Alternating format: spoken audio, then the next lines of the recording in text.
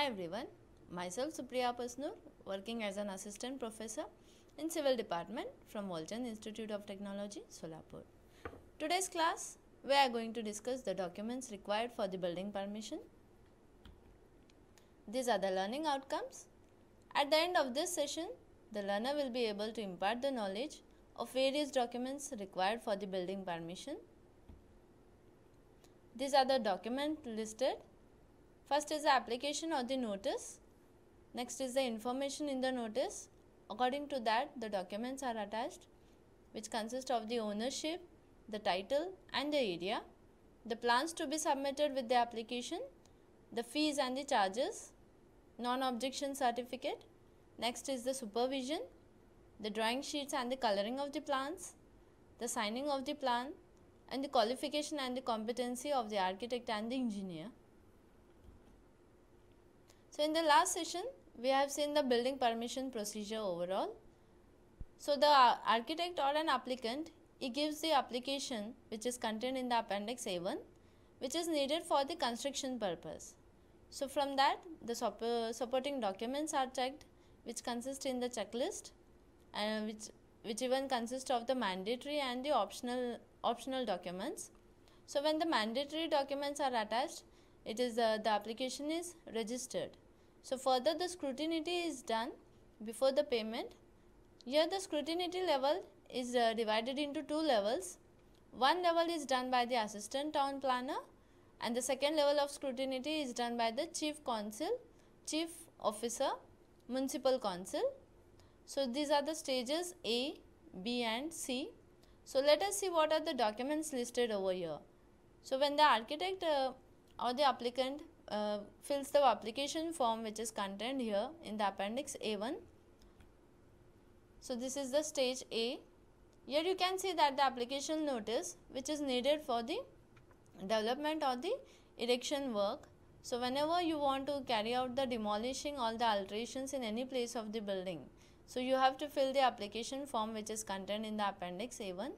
Here it, it has to be given in the writing through a registered architect or the engineer or a supervisor uh, it shall be uh, it shall be submitted to a it shall be uh, submitted through a licensed uh, authority as it is in the prescribed form.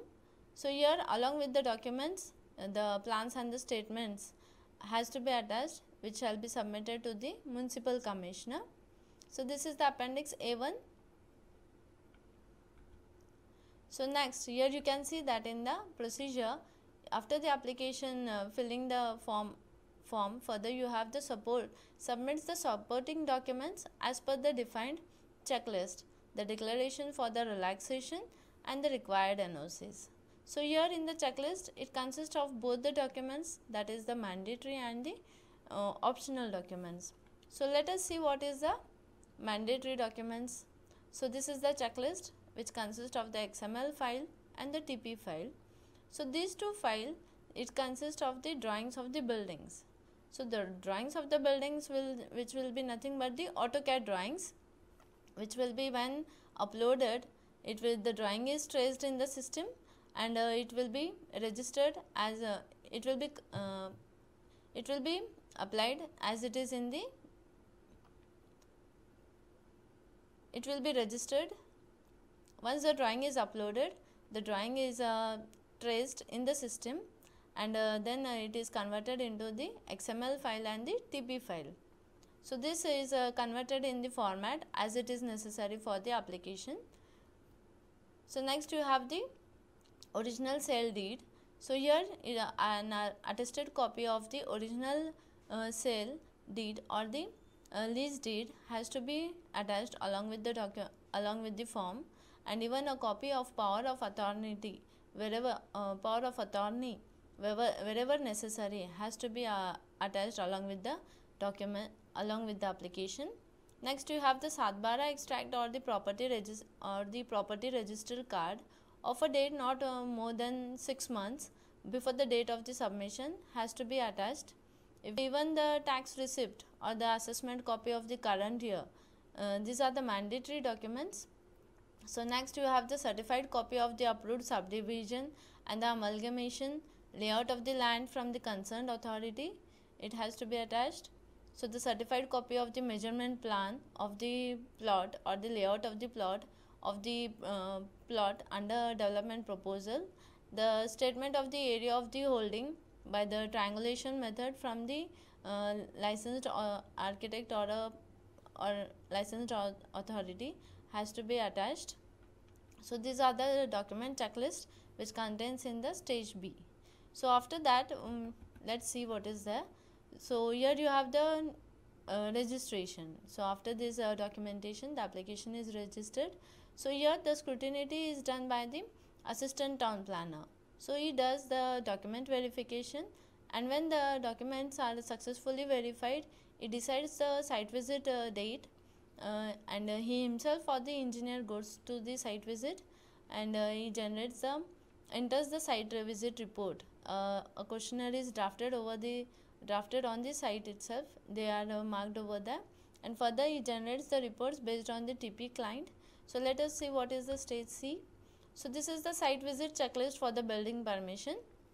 It consists of the scrutiny uh, scrutiny questions based on the site whether you have uh, is the location as per the approved layout of the town and the country planning department. Uh, the answers and uh, if if any remarks are there they are plotted over there. And uh, whether the any ownership of the approach road approach road whether it is a public road or the private road or uh, are there any trees on the site? If yes or no and uh, even the trees if they are going to be demolished and uh, whether any proper sanitation is provided on the site? And uh, is the site within the vicinity of the structure identified by the archaeological department? So all these questions are verified on the site itself. And uh, actually the plan drawing uh, the drawing on the paper and on the ground it is uh, check it is cross checked by the by the uh, assistant town planner. So the information accompanying the notice so overall the what is the information contained in the notice? This is what the ownership the title and the area. In this you have the Satbara extract the measurement plan the statement of the area and third party interest. If any interest is uh, created by the third party by the uh, agreement of the sale or the mortgage etc so a attested copy of that has to be attached along with the uh, form. And is the land leased by the government or any other or any other local authority. The has attested copy of that has to be attached. Next you have the plans to be submitted. In that you have a key plan or the location plan. This uh, this plan has to be drawn not to a scale more than 1 is to 10000 it uh, represents the layout it represents the location and the uh, key plan of the key plan which has to be uh, which shall be submitted along with the uh, building permission so next is the site plan. It is uh, based on the measurement plan. So this is a plan which is drawn not to a scale more than 1 is to 500 and when the area is more than 4 hectare the the drawing can be done not to a scale more than 1 is to 1000 so next is the layout plan. This plan is based on the development of the land.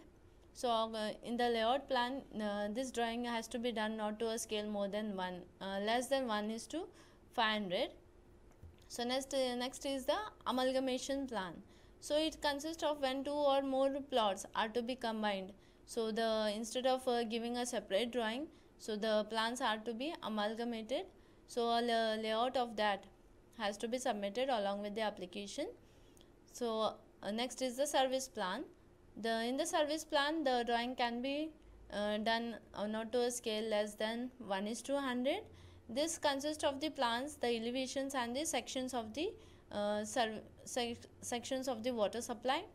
The sewer disposal next is the building plan. The building plan consists of the drawing not less uh, drawing to a scale of 1 is to 100 so it consists of all the floor plans the carpet area built up area etc next is the fees and the charges.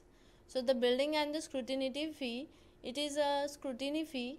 It uh, uh, the payment of uh, a tax receipt or the payment receipt of the payment has to be submitted along with the application along with the document along with the documents. So the payment has to be paid as per the as per prescribed by the commissioner. Next is the security or the deposit fee development charges. This fee is also recommended as per the instructions given by the commissioner. The premium charges premium charges and the tax clearance. Though so the clearance from the any other authority like the uh, railways anything so a tax receipt uh, a, a receipt from that an attested copy of that has to be attached along with the along with the notice along with the application. So next you have the clearances from the other departments. So this is a uh, clearances from the other departments like you can say the civil aviation authority railways the smoke nuisance def uh, defense department archaeological department the inspectorate of the boilers. So uh, clearance certificate has to be attached along with the building permission documents. So finally you have the supervision the certificate. A supervision uh, done by the architect or the super or the structural engineer a certificate has to be attached along with the documents so here are the some of the questions. Um, so let's see you have got the answer for this. Yes this is the answer. These are the references. Thank you